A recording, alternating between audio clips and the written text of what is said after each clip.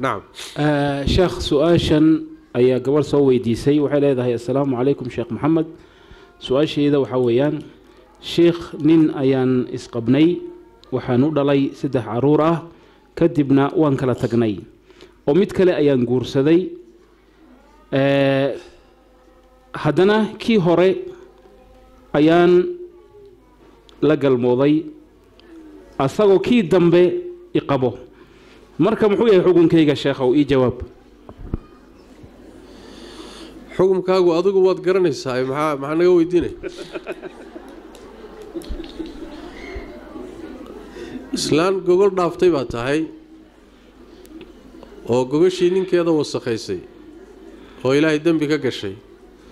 Sidaas daraaddeed toobadkeen oo ilaahay u toobadkeen.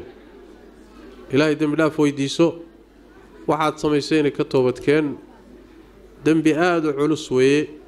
Waxaa kala duwan haweeney aan nin lahayn oo bannaanka ka sinaysatay fadlan aan isdhegaysano haweeney aan nin lahayn oo xumaan ku dhacday iyo haweeney nin leh oo guri leh oo iyadoo nin qabo xumaan samaysay way kala duwan yihiin. Ilaahay agtiisa laba dembi oo kale zinadaas ii kala weyn. Haddana waxaa ka sii weyn markay sinadu dhacdo deriska markay ku dhacdo. Way ka sii culus tahay.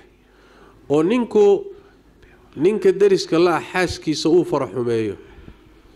Ama muxuu ahaayey deriska dhexdiisa ay ka dhex dhacdo way ka sii weyn tahay. Sida nebigu tilmaamay sala allahu caleyh waali wasalam sidaas daraaddeed gabadhaas waxaan dhihi lahaa dembigu waa culus ee aada gashay laakiin ilaahay dunuubta waa dhaafaaye toobadkeen saxa la imow.